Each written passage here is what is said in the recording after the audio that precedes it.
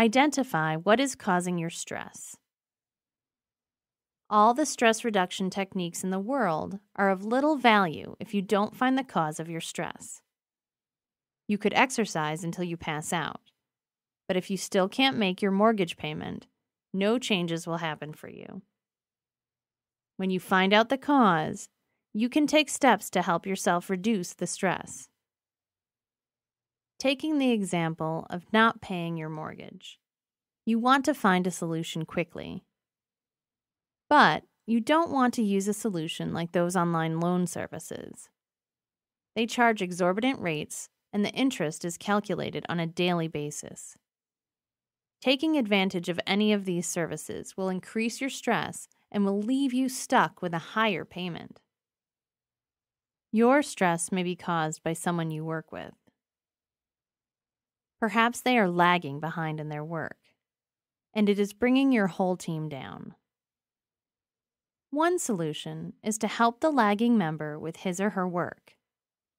But try to show them ways to get work done faster so it doesn't happen again in the future.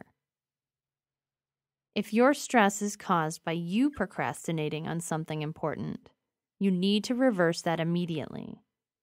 The situation is likely to get worse.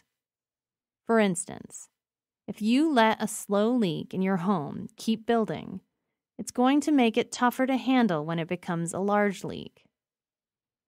If you are not capable of fixing the leak yourself, hire a professional. From the above scenarios, you would have dealt with the actual cause of the stress points. You could try meditating and participate in extreme sports. Those will help you reduce your stress to some degree. But it wouldn't do much to eliminate the situations. Only by finding what is causing the stress and taking actions based on that would you be able to eliminate the stress caused.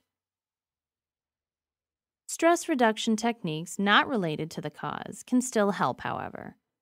They can help you relax, which can get you to think about solutions to the problem. The techniques can also help to lower your blood pressure and heart rate. When you are calmer, you will find solutions much quicker than when you are harried and stressed out.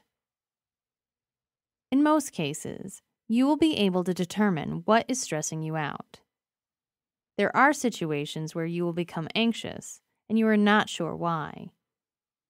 Hopefully, it is a temporary condition. Should it become more long term, consider getting some help before it gets out of control.